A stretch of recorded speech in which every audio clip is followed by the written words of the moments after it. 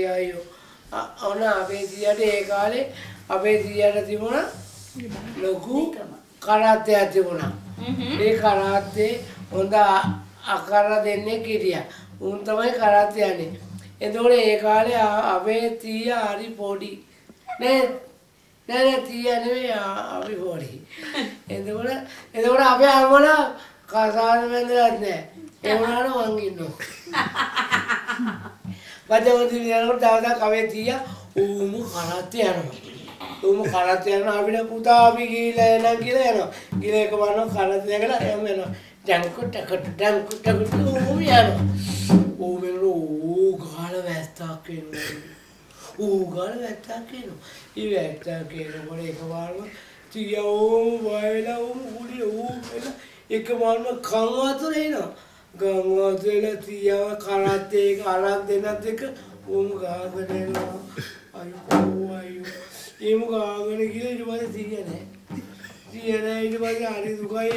අපේ අම්මලා කොහොමද තියාව බලාගෙන ඉනවලු. ඉනවා ඉනවා ඉනවා තියනේ අයියෝ පව්වයි. ඒපර තුන් මාසේ දාන දෙන්න සැට් කෙරුවා.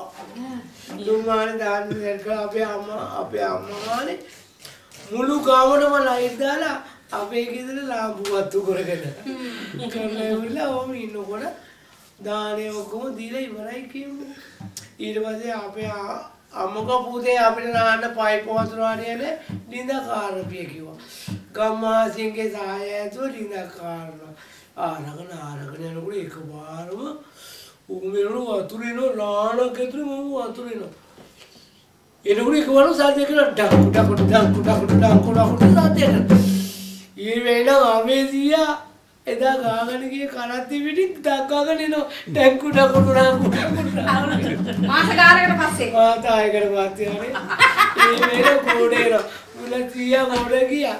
දුකියරුල අතල්වාදී ඔක එකතු වෙලා පස් දාලා අපි වැව්වයි උනාදයානේ මට ගොඩේට බැරි වුණා අයියෝ. තියා ගොඩ ගියා මට උණා